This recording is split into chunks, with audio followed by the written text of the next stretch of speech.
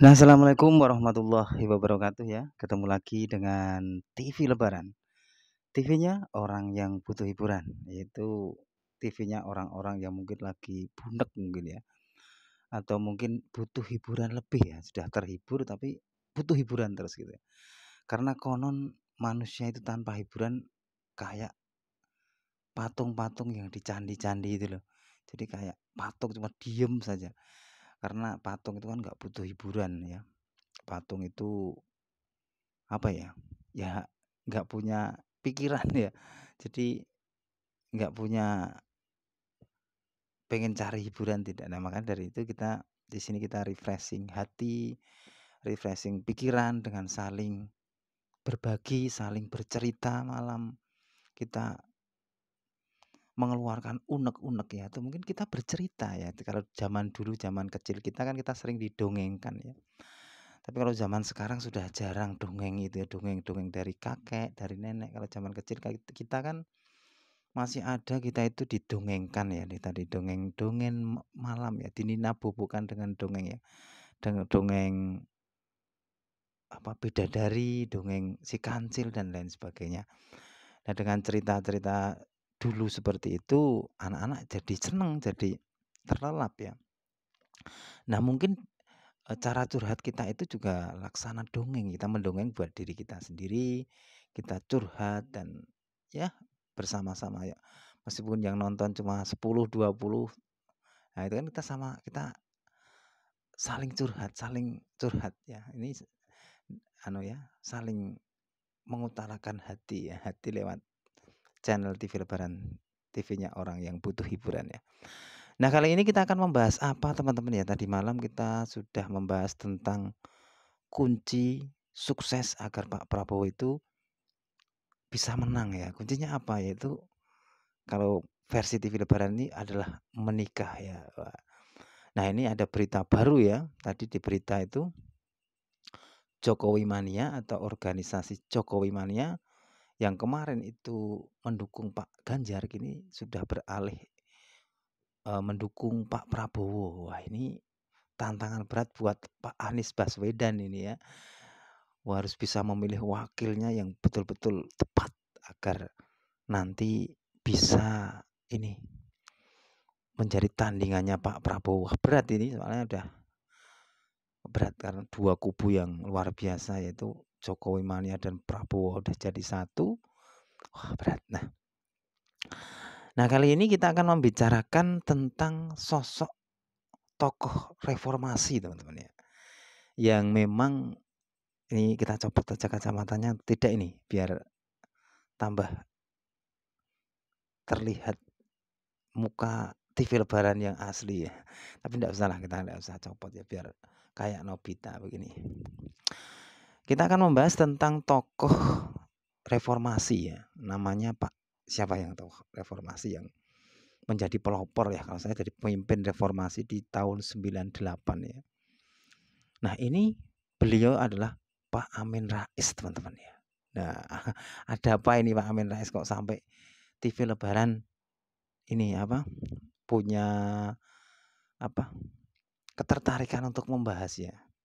Iya, saya ini ya sosok Pak Amin Rais. Nah, di zaman Orde Baru ini Pak Amin Rais ini menjadi orang tokoh penting ya, tokoh utama yang pengen menggulingkan Orde Baru, teman-teman ya.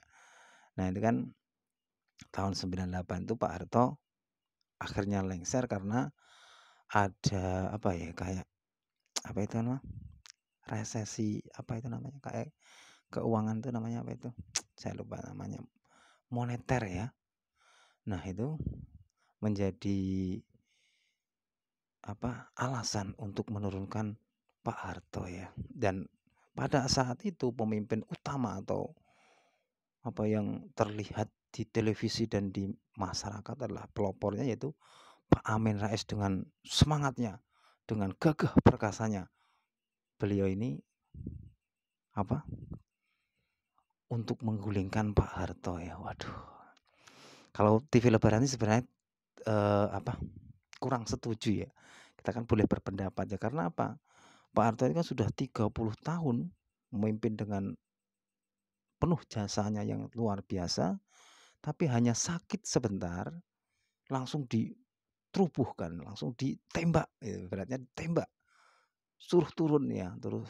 Nah, harusnya kan kalau orang sakit itu ya kita obati ya, biar sembuh kembali, baru setelah sembuh diajak berunding, diajak untuk ngobrol ngobrol-ngobrol bagaimana selanjutnya ini ya ini. Tapi tidak tahun 98 nih oleh Pak Amin Rais dan kawan-kawannya Pak Harto ini digulingkan ya secara ya udah demonstrasi kalau dia di televisi televisi itu kan demonstrasi besar-besaran mahasiswa pada akhirnya Pak Harto dengan legowo hati beliau ini rela untuk uh, apa mundur atau mungkin ini apa ya menyerahkan kekuasaan ke presidennya selama 32 tahun ya dengan legowo demi rakyat Indonesia ya. Nah, terus apa yang menarik dari Pak Amin Rais ini kok malah membicarakan orde baru ya. Nah, yang menarik itu ini teman-teman ya. Amin Rais ini di awal-awal reformasi beliau ini sangat disanjung, sangat dipuji-puji, sangat dibangga-banggakan oleh apa masyarakat pada zaman itu karena berhasil menggulingkan Pak Harto ya. Tapi anehnya teman-teman ya, ini yang menjadi TV Lebaran menjadi menyelidiki ya. Ini kan TV Lebaran adalah TV-nya orang yang butuh hiburan ya. Kita sering ekspedisi, kita menyelidiki, kita apa? menganalisa lah ini termasuk menganalisa dan menyelidiki ya. Dan pada akhir-akhir ini Pak Amin Rais ini sudah malah sudah tersisihkan dari kancah politik atau mungkin dari masyarakat ya. Kenapa? Karena saya lihat di media sosial itu Pak Amin Rais itu malah banyak dibully ya oleh masyarakat itu. Nah ini kenapa kok bisa seperti ini? Padahal beliau ini dulu adalah pelopor reformasi. Nah dan Pak Amin Rais ini juga dari partainya ini bahasa kasarnya ditendang ya atau dikeluarkan ini. Wah jadi tersisihkan sekali nih Pak WLS. Jadi kayak apa ya? Kayak tidak sesuai dengan awalnya dia menjadi orang yang gagah perkasa di saat menggulingkan Pak Harto ya. Tapi sekarang beliau kayak disisihkan, malah banyak dihujat ini. Wah, ada apa dengan Pak Amin Rais ini? Sama partainya saja ditendang. Ya.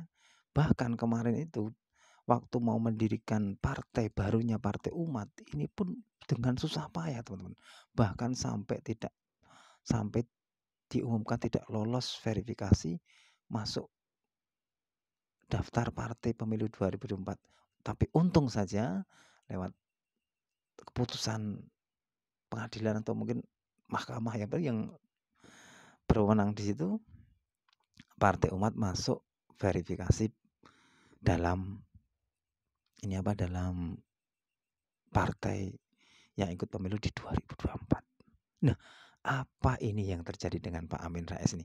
Apakah ini adalah karma dari Pak Harto? Nah, ini loh. Ini loh yang sebenarnya intinya saya itu. Apa ini adalah karma dari Pak Harto, teman-teman? Atau mungkin kualat bahasa Jawanya. Ya, kualat ya. Jadi saya lihat Pak Amin Rais ini ibaratnya yang mem, me, apa me, apa ya menggulingkan Pak Harto tapi setelah menggulingkan lama-lama malah beliau sendiri tersisihkan dan disisihkan dari reformasi dari apa orde reformasi ini nah bahkan banyak yang membuli mas ya saya lihat di media sosial ini hanya pendapat pribadi ya dari TV Lebaran karena TV Lebaran adalah TV-nya yang penuh ekspedisi, penuh meneliti. Nah, apakah ini Pak Amin Rais ini adalah kena atau kualat dengan Pak Harto atau mungkin bahasanya kena karma dari Pak Harto ya.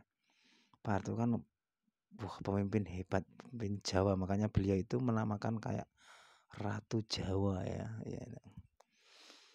Nah, sebenarnya kalau saya sih ya pendapatnya Pak Harto sudah membangun lama 33 tahun sakit sebentar, jangan langsung dirobohkan, tapi diobati sama-sama. Harusnya sih seperti itu. Nah, apakah ini sampai sekarang banyak yang membuli ya? sama Pak Amin Rais itu bahkan sangat disisihkan. Saya pernah berita apa di berita-berita itu kayak gitu. Nah, saya nah inilah menjadi perhatian dari TV Lebaran apa ini karma dari Pak Harto ya. Ya itu aja teman-teman. Uh, curhatan kali ini tentang tokoh reformasi ya Pak Amin Rais ya ini. Ini jadi apa ya? Tanda tanya makanya kan menganalisa kok bisa seperti ini ya gitu Pak Amin Rais kok bisa seperti ini. Padahal dulunya beliau adalah orang terpenting di saat reformasi. Tapi setelah reformasi malah beliau ini kayak disisihkan, diasingkan bahkan banyak dihujat. Apa? Ini adalah karma dari Pak Harto. Itu aja teman-teman, jangan lupa like dan subscribe channel ini agar tetap berkembang. Kita nanti bahas yang lainnya lagi saya bahas tentang yang semuanya ya karena TV Labar adalah TV-nya orang yang butuh hiburan. Jadi kita membahas hiburan-hiburan apa aja. Jadi kita membahas tentang wakil yang tepat untuk Pak Anies karena ini musuhnya rivalnya ini sudah tambah berat nih karena Pak Prabowo sudah banyak ada pendukungnya dari Jokowi mania. Wah ini udah dua kubu yang sangat jadi satu besar jadi satu. Wah ini berat itu aja teman ya ini anu ya kita bukan orang politik tapi kita ini sebagai rakyat kecil seneng ngomongin hal-hal yang uh, apa orang-orang besar. Ya enggak apa-apa rakyat itu kan mengawasi tugasnya juga menganalisa juga. Itu aja Gajian teman-teman jam berapa ini Wah, jamnya mati ya. Jam satu ya. Wassalamualaikum warahmatullahi wabarakatuh